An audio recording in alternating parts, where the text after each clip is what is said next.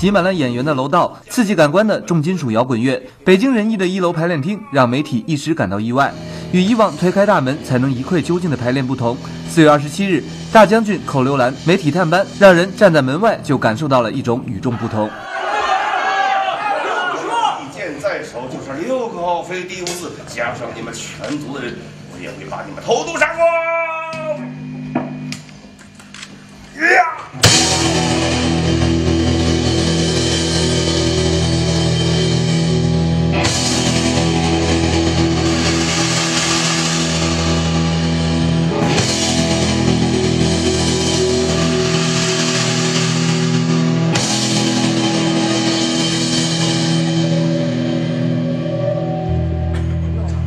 诞生于二零零七年的北京人艺版《大将军寇留兰》在首演当时就引起热议。不同于莎士比亚之前的任何一部作品，这部莎翁的晚期作品并没有被广泛普及。由于剧目所涉及内容的复杂性，该剧从诞生之初就饱受争议。今年北京人艺推出了《大将军寇留兰》的恢复版，这既是北京人艺新甲子年对保留剧目的恢复计划之一，同时也是为这部作品今年父爱丁堡演出做好预热。近百位演员冲上舞台，这在北京人艺的舞台上开了先河。而贯穿全剧的重金属摇滚乐，更是林兆华和乐队合作的神来之笔。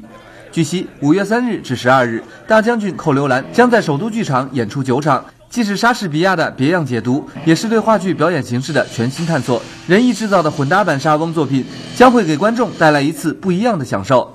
优酷娱乐播报，北京报道。